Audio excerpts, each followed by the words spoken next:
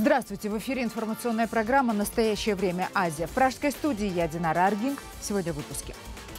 Взрывы в Дрездене с антиисламским подтекстом. Неизвестные взорвали две бомбы. Одну у мечети, где находились имам и его семья, другую у Конгресс-центра. Это может произойти во всем мире. Мы ожидали что-то вроде этого. Раньше нам разбивали стекла, рисовали антиисламские графики на стене. В Таджикистане в процессе всеобщей смены бывших советских названий городов и сел на таджикские появились десятки населенных пунктов с одинаковыми именами. Население запуталось, а власти собираются переименовать все во второй раз. Чтобы отличить, говорим Нижний, Верхний и Средний Сыразий. Чисто кыргызская элитная деревня посреди Новой Москвы. Особняки для кыргызстанских богачей в поселке Поддубье строят исключительно их же земляки. Там наша земля, наши люди, но работы там нет. 75 лет назад начались массовые расстрелы евреев и цыган в киевском Бабьем Яру. В огромном овраге на окраине Киева нацисты и украинские коллаборационисты уничтожили больше 100 тысяч человек. Цыган хватали, э, евреев хватали, и всех Бабин Яр значит, убивали. Кандидаты в президенты США Трамп и Клинтон сошлись на первых теледебатах. После подсчета голосов на американских телеканалах Хиллари Клинтон уверенно победила, но Трамп считает иначе. Опросы избирателей в сетях показывают, что я очень хорошо выступил. Сотни тысяч людей уже проголосовали за то, что я победил. В Америке одновременно испытали сразу два новейших двигателя для марсианских космических кораблей. Теперь американцы собираются строить обитаемую базу на Марсе. Россия, между тем, построила новую военную базу на границе с Украиной. При строительстве тоже использовались новейшие технологии. Производятся пусконаладочные работы по инженерным системам жизнеобеспечения. Взрывы в Дрездене прогремели у мечети в центре города и Международного конференц-центра. Немецкая полиция расценила их как проявление расизма. Пока за оба взрыва ответственность никто не взял. Но, как считает глава полиции, цитата, «мы предполагаем, что здесь есть ксенофобский подтекст». На месте взрыва были найдены элементы самодельного устройства. Первый взрыв раздался у мечети, внутри которой в тот момент находились имам и его семья. Из них никто не пострадал. Второй прогремел на террасе между отелем и Международным конгресс-центром. Также обошлось без жертв и пострадавших. Местные мусульмане, прихожане мечети, говорят, что нападение не стало для них неожиданностью. Это может произойти во всем мире. Мы ожидали что-то вроде этого. Раньше нам разбивали стекла, рисовали антиисламские граффити на стене. Но это в первый раз, когда происходит взрыв. Надеемся, что он будет и последним, и мы будем счастливо жить в Дрездене. Но на самом деле, как и в Дрездене, это может случиться и в Стамбуле, и в Париже, и в Берлине. Мы должны быть все время на чеку, держать глаза открытыми, чтобы успеть остановить тех, кто попытается сделать это в будущем. Местная полиция уговаривает население не поддаваться панике, а федеральный министр внутренних дел убежден, что взрывы – это своеобразный ответ ультраправых на теракты радикальных исламистов. Конечно, эти два события вынуждают нас принять еще более строгие меры в области безопасности. Но я предостерегаю всех против истерии. Наоборот, вся полиция Саксонии сейчас на ногах, и мы обязательно раскроем эти преступления. Международные террористы злоупотребляют исламом, чтобы оправдать свои преступные действия. Однако ответная агрессия, в том числе против традиционного ислама в Германии, это еще более ужасающее преступление. Взрыв и нападение произошли всего за один день до 10-й годовщины немецкой исламской конференции и за несколько дней до празднования Дня германского единства. Слава Богу, не было жертв и никаких серьезных травм, но мы не хотим, чтобы это было в Германии, независимо от того, кто является мишенью. В Азербайджане снова изменили Конституцию. В республике прошел референдум по внесению изменений в главный закон, который ЦИК уже признал состоявшимися. Поправки коснулись увеличения президентского срока с 5 до 7 лет, снижения возрастного ценза для кандидатов в президенты, то есть теперь на главный пост могут претендовать граждане моложе 35 лет, и введение должностей вице-президентов. Напомним, что Конституцию Азербайджана меняли уже дважды в 2002 и 2009 годах. Преддверии нынешнего референдума были арестованы десятки представителей оппозиции. Тем не менее, на улицы вышли тысячи несогласных с очередными изменениями в Конституцию, называя их антидемократическими и вносимыми с целью укрепления монархического режима Алиевых. Политологи считают, что Ильхам Алиев пытается надолго сосредоточить власть в руках его семьи. То, что предлагает сегодня режим Алиева э, совершить в Азербайджане, то есть пойти путем я думаю, все зрители знают, что такое в Северной Корее и в Сирии. Да? То есть это дедушка, отец, сын. И точно так же было в Корее от Хафиза Асада к сыну Башара Асада. В Азербайджане уже произошло от Гейдара Алиева к сыну Ильхама Алиева произошла эта рestaurация с 2003 года по сегодняшний день. И то, что предлагается сегодня, в 26 сентября, поправки в Конституцию, они э, предлагают ввести пост конкретно первого вице-президента и уменьшить возрастной ценз с 35 лет до 18 лет. Объясняю это по-простому, чтобы э, зрителям и слушателям было бы понятно, да, что э, первый вице-президент, это автоматически предлагается пост для Мехрибан Алиевой, супруги нынешнего президента. В Азербайджане существует официальное правительство, которое возглавляет Ильхам Алиев, то есть он президент, это в Конституции, исполнительная власть, как у нас работает. Президент по Конституции, исполни... вторая должность принадлежит премьер-министру. Э, но существует еще теневое правительство. Это теневое правительство называется фонд Гейдар Алиева, где президентом является Мехрибан Алиева. И этот теневой фонд, откуда проходит все 90% коррупционных денег, отмывания этих денег. И Мехрибан Алиева сегодня по всему миру летает. Она даже, к сожалению, имеет статус почетного посла ЮНЕСКО. Понимаете? И вот э, это все говорит о том, что и нынешнее правительство, и все те люди, которые входят сегодня в, в исполнительную власть, они одновременно работают с этим фондом Гейдара Алиева, и они прекрасно также работают с Ильхам. Поэтому она в курсе всего, все, что творится в Азербайджане. А 35 лет э, возраст до 18, это предлагается сделать для его сына, маленького Гейдара Алиева, которому только исполнилось 18 лет. Поэтому ему нужно несколько вариантов таких форс-мажорных, потому что движет режимом Алиева обычный настоящий страх за возможные последствия для огромного клана в случае какого-нибудь форс-мажора. Вы видите в регионе, что творится, и вполне возможно какая-то форс-мажорная ситуация, и они не хотели бы повторять судьбу э, режимов Каддафи, э, режима Саддама Хусейна, естественно, не только для себя, но и для многочисленных своих родственников, для своего клана. Выходцы из Кыргызстана заселяют российское Подмосковье. В пригородах Москвы появляются деревни, которые скоро начнут обживать состоятельные кыргызстанцы. Их дома строят исключительно соотечественники. Наш корреспондент Джибек Бегалеева побывала в чисто кыргызском поселке Поддубье в Новой Москве. Сразу за Милашкино, примерно в 30 километрах от Москвы, начинается Поддубье.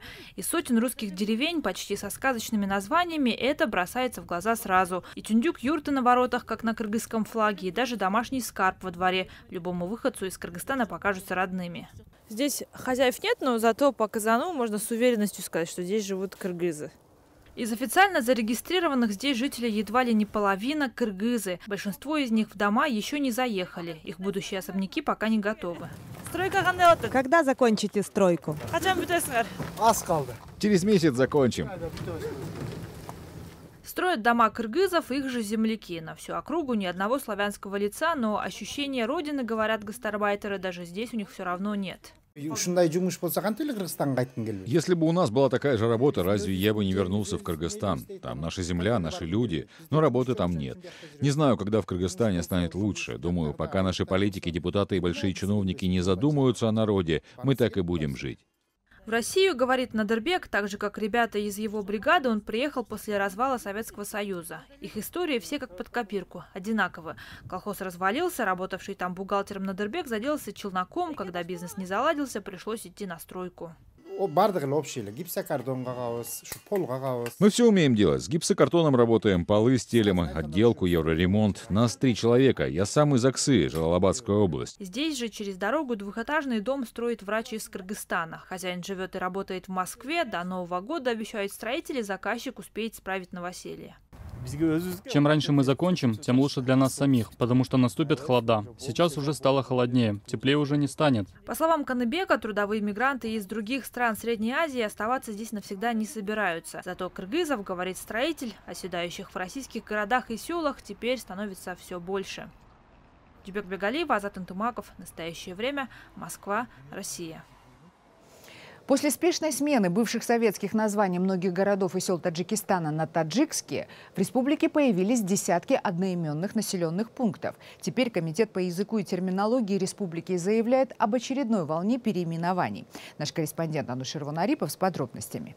У нас в районе Хазратима Воно два села Новобод. Одно называем Новые земли, второе неподалеку земли Сатора. Поэтому всегда уточняем, какой Новобод, земли Бабаи Абдурахмон или Сатора. У нас в Кулябе есть кишлаки Сайрази.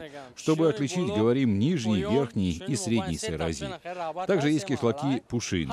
Местные называют их верхний, нижний и средний. Таджикистан, который избавляется от своего советского прошлого, захлестнула волна переименований городов, сел и районов. Также переименовывают населенные пункты, в названиях которых есть заимствованные из других языков слова. Поспешность в этом деле привела к появлению одноименных кишлаков. Исследования показали, что в кишлаках, селах, районах и областях и вообще по стране много повторяющихся названий, что не отвечает национальным ценностям и культурным особенностям страны. Этот вопрос надо решить.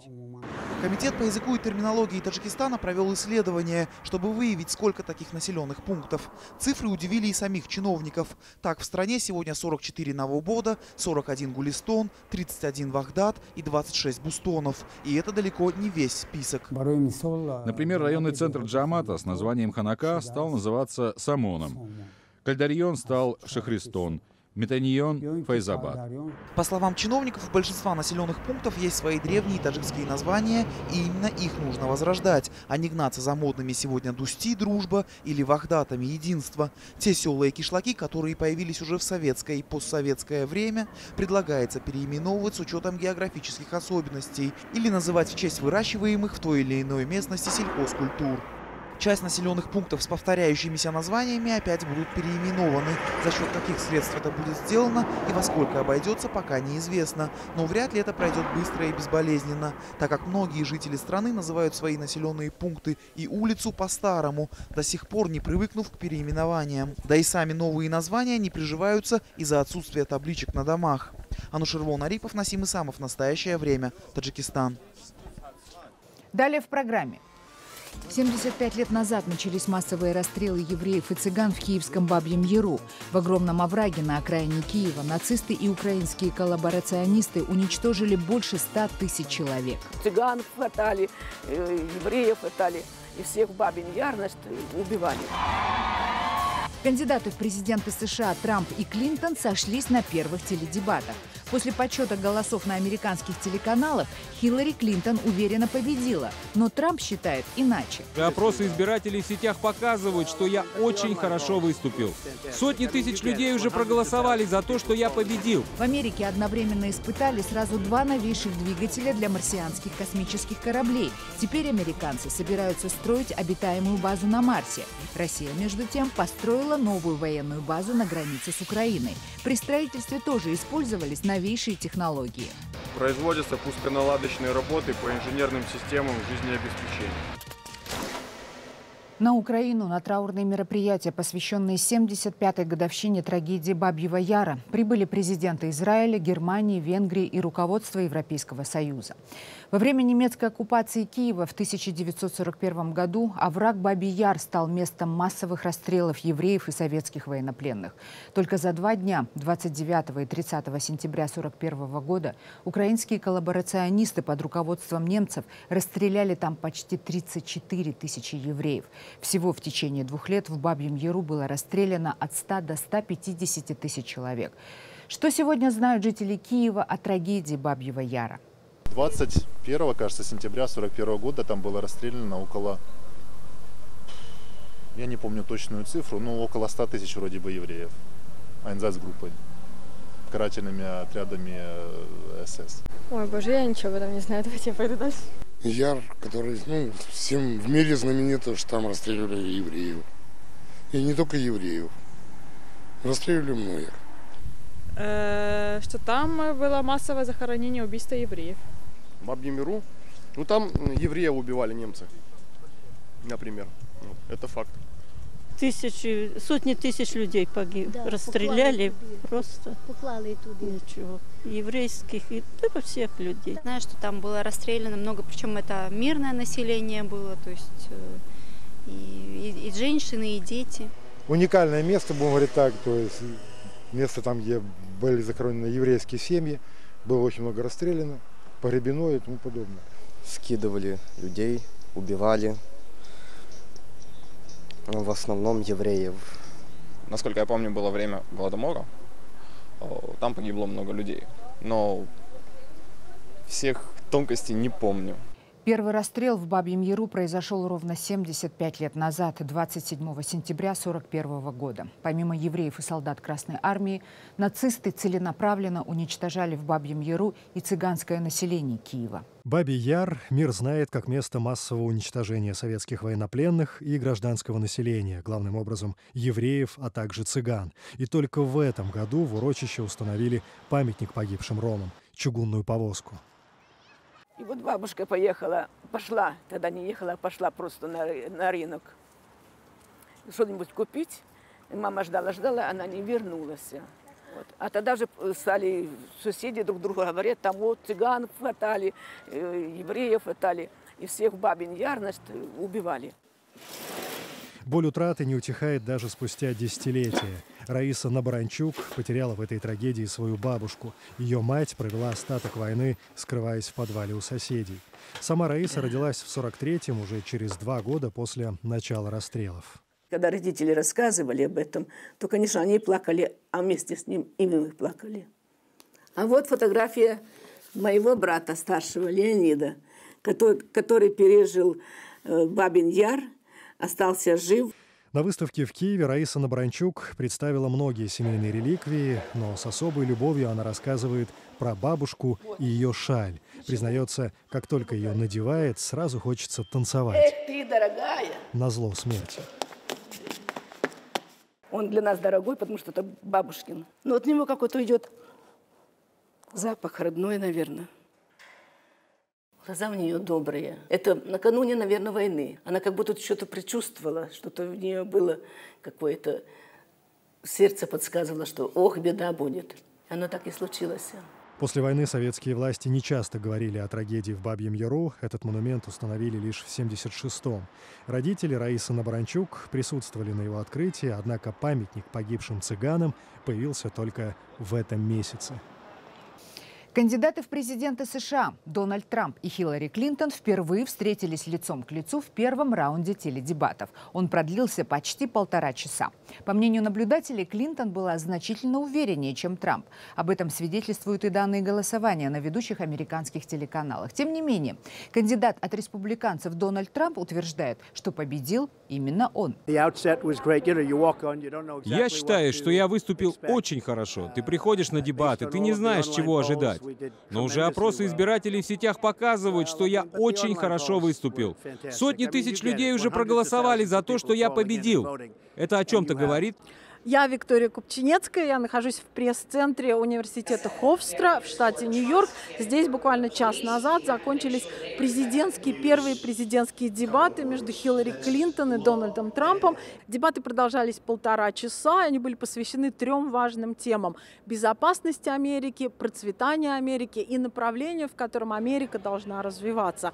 Что касается платформ, политических платформ кандидатов, мы здесь много нового не услышали. Их положение предложения мы слышали уже и раньше. Но вот что меня лично поразило, это та агрессивность, с которой сразу же начала дебаты Хиллари Клинтон. Она перешла в наступление буквально на третьей, четвертой минуте после начала, и она а, обвиняла, она пыталась представить а, Дональда Трампа как недостойную личность. Я об этом поговорила с э, Рудольфом Джулиани, бывшим мэром города Нью-Йорк.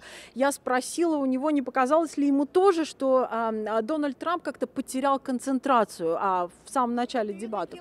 Рудольф же Джулиани считает, что это средство массовой информации к Трампу несправедливое, особенно предвзято на этих дебатах к нему отнесся модератор, модератор дебатов Лестер Холл. Вот что Джулиани мне сказал. That's your.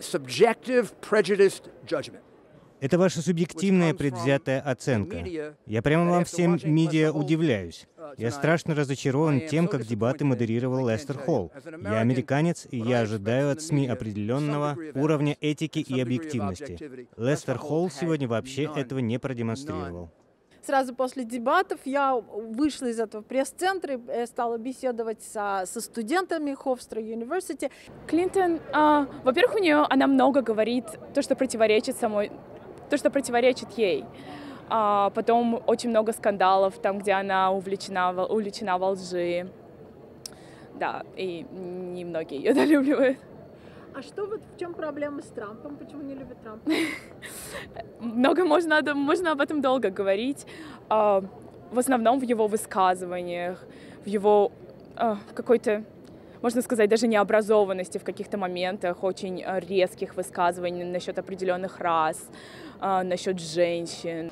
Хочу напомнить, что будет еще три раунда дебатов. Два раунда между кандидатами на пост президента США и один раунд между кандидатами на пост вице-президента США. Я Виктория Купчинецкая, Сергей Гусев из пресс-центра университета Хофстра в штате Нью-Йорк. Предвыборные баталии кандидатов в президенты США несколько заслонили собой два очень важных для Америки события национального масштаба. В стране почти одновременно прошли успешные испытания двух ракетных двигателей для сверхтяжелых космических ракет. Один двигатель испытывало Национальное космическое агентство НАСА, другой – глава корпорации SpaceX, частный предприниматель Илон Маск. Теперь Америка уже в ближайшее время сможет начать осуществлять свою мечту по покорению Марса. Вы видите кадры НАСА, на которых идет испытание двигателя для сверхтяжелой ракеты, которая выведет в космос новейший американский семиместный космический корабль «Орион». С его появлением американская космонавтика должна полностью избавиться от зависимости от российских ракетоносителей. И, как планируется, при помощи пилотируемого «Ориона» начнется сначала строительство обитаемой базы на Луне, а потом оттуда будет отправлена миссия на Марс. Илон Маск имеет еще более амбициозные планы. После успешного испытания его собственного ракетного двигателя он рассчитывает в течение уже ближайших лет начать заселять Марс людьми. Об этом он сообщает в своем твиттере. У Илона Маска также готов проект космического корабля, который должен доставить на Красную планету 100 первых колонистов. Американское правительство также имеет очень четкий план колонизации Марса. После доставки туда необходимых грузов на Марсе будут построены колоссальные солнечные батареи и ядерные реакторы. Кроме того, планируется создание большого количества обитаемых модулей и транспортных сетей. Первая зона на Марсе, заселенная людьми, составит почти 100 километров в диаметре. Тем временем Россия уже построила новую базу, только не марсианскую, а военную на границе с Украиной. Это один из нескольких новых военных объектов, созданных, как утверждает Москва, для противодействия растущей активности НАТО у российских рубежей. Как вы видите, во время строительства новой военной базы также применялись новейшие технологии. Уже назначен командный состав частей и подразделений. Идет их комплектование военнослужащими-контрактниками. В состав нового соединения войдут три мотострелковых, танковые и зенитные ракетные полки, а также полк самоходной артиллерии. С октября дивизия начнет получать вооружение и военную технику и будет полностью сформирована к концу года. Заканчиваются отделочные работы в последних трех общежитиях. Производятся пусконаладочные работы по инженерным системам жизнеобеспечения. В ближайшее время военный городок будет готов к размещению личного состава. Это были все новости, о которых мы хотели вам рассказать. Читайте нас в социальных сетях и смотрите на сайте currenttime.tv. Мы встретимся с вами завтра в это же время. Всего доброго.